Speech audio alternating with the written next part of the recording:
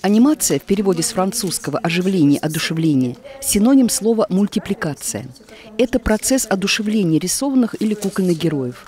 Персонажи анимационного кино оживают на экране с помощью покадровой съемки. На каждом последующем рисунке фигурка представляется в чуть иной фазе движения. Отдельно объекты покадрово фотографируются, а затем проецируются на экран. Появившаяся в 70-е годы 20 века компьютерная анимация несколько облегчила работу художников-мультипликаторов.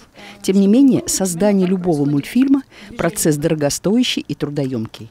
Но когда ты уже делаешь полноценную анимацию а бег лошади, походка собаки, то ты должен пользоваться схемами, ты должен очень много сидеть изучать животных, чтобы понять, как правильно происходит движение, как вообще двигаются мышцы, суставы, как это все работает.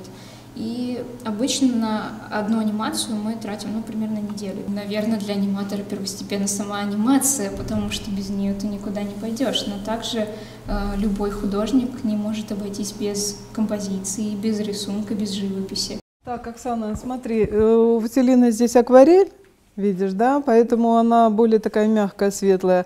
А гуашь, она может быть поплотнее по тону, вот даже ты пишешь сейчас голову, пожалуйста, поплотнее, поцветнее. И здесь по рисунку, конечно, есть недостатки. Рисунок вообще основа основ. Это закладывается и живопись, она строится на рисунке, и э, для анимации, я думаю, все это очень важно. Рисованная анимация, лично мне, она нравится гораздо больше, чем компьютерная. А вы можете назвать свои любимые мультфильмы? Любимые «Ежик в тумане», потому что он романтичный, потому что там очень хорошие, э, ну, как сказать, композиции, найдены образы. Мне кажется, вот он мне трогает. Ну, когда цепляет или нет, это же такое дело, что почему, может, иногда и не скажешь почему. По результатам опроса 140 кинокритиков и мультипликаторов разных стран в 2003 году советский мультипликационный фильм Юрия Нарштейна «Ежик в тумане» был признан лучшим мультфильмом всех времен. Чем, на ваш взгляд, разница между русской, ну тогда еще советской, да, школой мультипликации, школой в большом смысле этого слова, и зарубежными аналогами, я не знаю, тем же японская, может быть, мультипликация, диснеевская? Они э, создали себе какие-то рамки, вот они нашли что-то такое, что, да, свой стиль, и делают. То есть мы сразу отличим японскую, сразу отличим диснеевскую. А наши, как всегда, они умеют все. Они там вам могут сделать и красивые компьютерные мультфильмы современные, и до сих пор продолжают делать классическую анимацию. То есть я считаю, что молодцы наши аниматоры когда я еще про анимацию ничего не знала, мне больше всего нравились самые первые советские мультфильмы. Вот когда там Дед Мороз, все такое зайчики, все это такое живое. А потом оказалось, что это, оказывается, такой специфический вид анимации, когда снимается сначала на пленку кино, а потом художник это обрисовывает. То есть я узнала это недавно.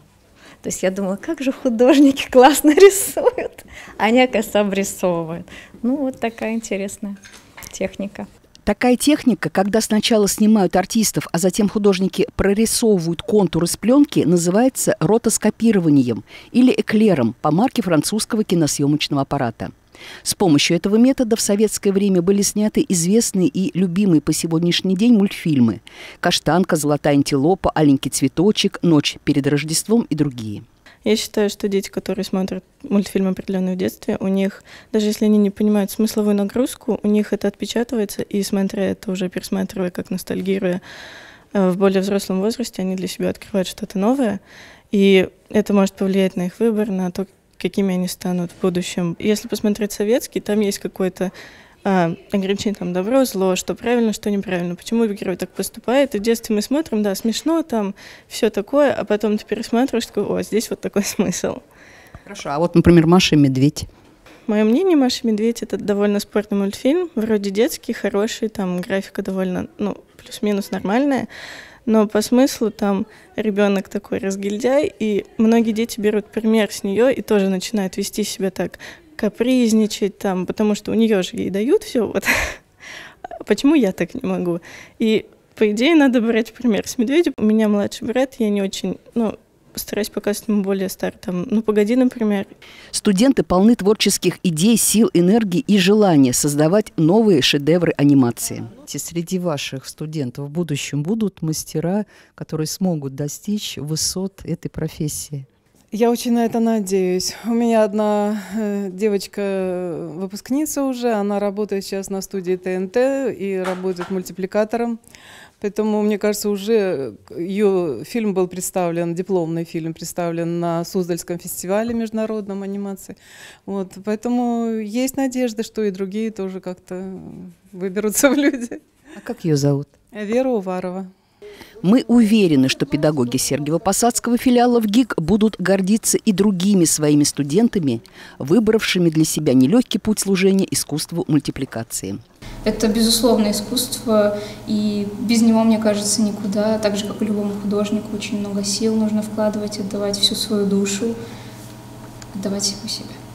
Елена Георгиева, Кирилл Григорьев. День города.